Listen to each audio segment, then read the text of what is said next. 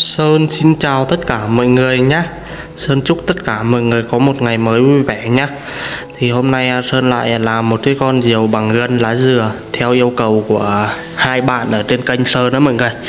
Là cái con diều à, của Hải Phòng, là diều à, tiên lãng mọi người ạ. Mỗi bữa Sơn làm diều kinh môn rồi. Thì bữa nay Sơn làm cái con diều tiên lãng nha Thì cái con diều tiên lãng này thì Sơn thấy cũng đẹp, cũng được thì hơn kinh môn mọi người. Nói chung là một nét đẹp và là một con diều nó, nó khác nhau mọi người nó không giống nhau được. Chứ không phải là hơn hay thua gì nhá mọi người. Nói chung là kinh môn thì cái đuôi nó hơi dài á tính ra làm tre thì nó đẹp hơn à, làm bằng gân. Nhưng mà sơn này à, tre thì à, toàn tre ngây mọi người ạ. Tre không ra gì hết. Manh manh mèo méo nhìn chán khơi đây mọi người tre này. Thì à, cây cây cái này là sơn à, đã vót theo dạng hình vuông là 0,5 hết nhá mọi người. Còn đây hai cái thanh cánh này là một mét. Còn hai cái thanh đuôi này thì à, sơn à, hồi nó làm đến đâu sơn mới đo đến đó nhá mọi người. Thì bây giờ để sơn nắn lại cái cây thanh cái này đã rồi là sơn sẽ buộc nhá mọi người. Thì sơn đo từ trên đầu này xuống đến cái đoạn sơn đánh dấu đây là 5 cm để tí là sơn buộc luôn nhá sơn cũng đã buộc xong rồi nhé mọi người. Để sơn quay cho nó thẳng cái ra mọi người. Thì à, sau khi mà mọi người buộc xong á mọi người à, muốn cho nó thẳng á mọi người. Mọi người để thế này này. Đấy theo nó là theo uh, của cái hình nhé để sơn quay làm sao mà cho nó đứng cái điện thoại đó mọi người. Đây nhá mọi người.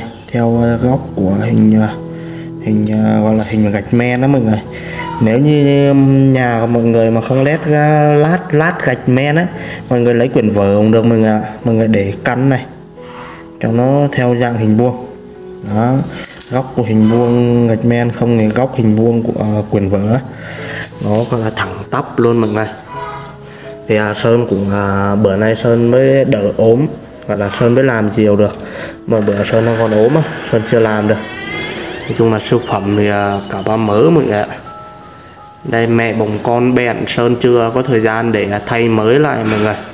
À, cuối năm à, thì sơn đã nói sơn thay mới mà sơn chưa có thời gian. Cũng sáo hư này. Rồi là đại trà miếng tiểu đại trà mọi người. Thì à, bây giờ sơn sẽ đo bụng. Bụng thì à, sơn sẽ làm 27 cm nhé mọi người. 27 cm rồi sơn sẽ buộc rồi tí nữa xong thì à, sơn, sơn à, lại quay tiếp cho mọi người cùng biết nhá. Sơn cũng đã làm xong rồi nhá mọi người. Thì à, lần này cánh nó cũng khá là đều mọi người ạ. Cũng không phải là mình không buộc gì nhiều nữa. Cũng khá là hên. Cánh nó cũng khá là đều. Lần này thì à, bao đẹp mọi người à, cái bụng à, gọi là cái bụng là lần này sơn làm hơi nhỏ tại vì à, cái diều à, của hải phòng này là diều gì ta? Kinh môn à? Kinh môn không phải. À, diều gì mà sơn quên rồi ta? Diều của Hải Phòng không lòng vòng nhé mọi người. Thì à, còn cái phần đuôi dài với là phần bèn đây nữa của à, kinh môn là một bữa Sơn làm rồi. Cái con này là Sơn quên rồi mọi người để hồi thì à, cái con diều này thì đợi sơn làm cái giái với cái bèn đây nữa là được nhé mọi người. Thì cái cây này thì giỏi lắm, chắc 20 này 40 này chắc 50 thôi mọi người cái cái ờ, chắc um, nếu mọi người làm thì mọi người lấy chỉ 50 thôi là được. Tại vì uh, sơn cứ làm thừa thế hồi nó sơn còn bao nhiêu thì sơn sẽ đo đó mọi người. Khá là đẹp rồi mọi người. Thì bây giờ sơn buộc thêm cái ở giữa nữa rồi là sơn uh, để uh, lấy uh, sơn đo xem bao nhiêu cái uh, cái đuôi dài nhá mọi người. Sơn cũng đã à, làm gì đó cái diều um, sơn đã buộc hai cái dái rồi mình ạ. Đây là à, cái đuôi uh, đuôi dái của cái con diều của tiên lãng nhá mọi người. Diều tiên lãng hải phòng. Thì à, bây giờ sơn sẽ à, gọi là đo từ đây xuống đến đây là 12 cm sơn sẽ buộc cái phần đuôi này. Cái phần đuôi này khi nãy sơn quên sơn không đo mình sơn làm chừng đi sơn không đo. Thì à, có gì mọi người thông cảm nhá. Thì à, mọi người cứ làm đại đi nhá thì bây giờ sơn sẽ buộc luôn nhá mọi người. Sơn cũng đã làm xong rồi nhá mọi người. Thì à, lần này sơn buộc mỗi tội. Nhìn giống uh, tiểu đại trà có mọi người nhưng mà nó như thế đấy mọi người chứ không phải là tiểu đại trà đâu. Nhìn công nhận là giống tiểu đại trà thật. Cái đuôi này nó hơi khó một tí nhá mọi người tại vì cái đuôi á là là cái đuôi. nó nói thế thôi chứ mà cái đuôi này bằng gân lá dừa mọi người nó cực kỳ là khó nấn hơn tre mọi người ạ. Nên là cái việc nó hoàn thiện mà đẹp thì à, nó hơi khó. Thì à, lần này à, sơn làm kiểu này á mọi người nó công nhận là nó giống đại trà thật. Nhưng mà đây lần đầu tiên sơn làm. Diều à, hải phòng.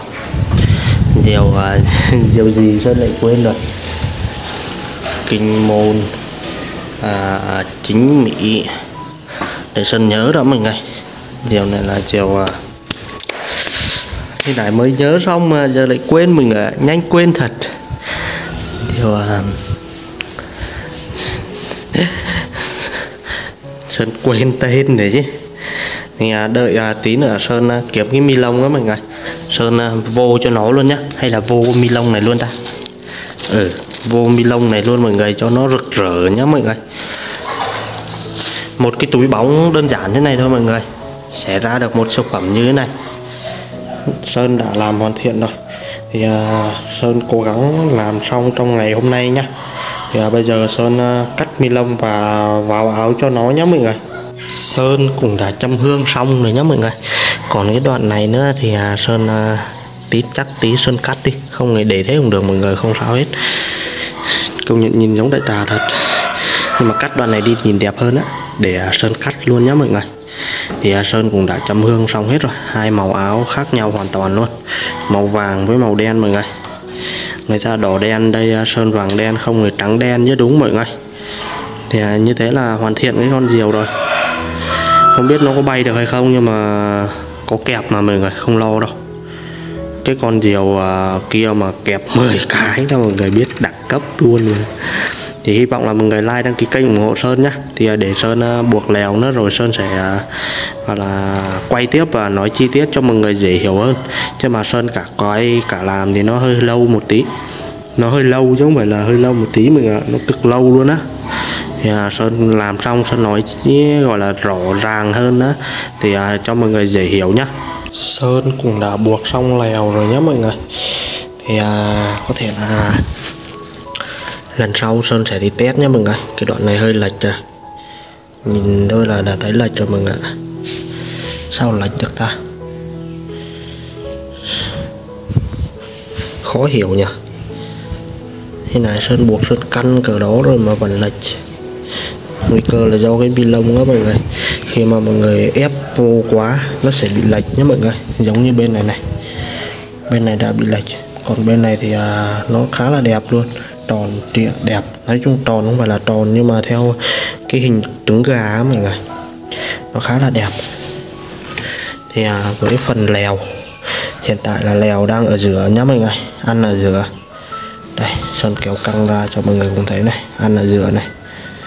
Để bắt nét đi bắt nét đi. Đó lèo là đang ăn ở giữa một bên là sơn đo 4 cm là hai bên là 8 cm nhé mọi người thì à, mọi người à, muốn buộc á, tùy thôi. Thì à, nhiều người gọi là lúc mà mới làm sơn cũng hay buộc đến ở giữa bụng, nhưng mà lần này thì là sơn không không không cần đến giữa bụng nữa mọi người. Đến giữa bụng thì cái lèo nó hơi dài, nhưng mà hơi dài cũng được mọi người không sao hết. Nhưng mà mọi người buộc ngắn thế này cũng được, gọi là sơn đo gấp hai lần rưỡi, không ba lần. Không, mọi người đo bắt đến giữa bụng diều luôn. Đây, mọi người vạch bắt đến đây rồi lên đây. Đó kiểu vậy. Cũng được mọi người không sao hết. Nói chung là mọi người buộc làm sao mà cái lèo mình khi mà nó chỉnh sang trái sang phải thì được là ok nhá.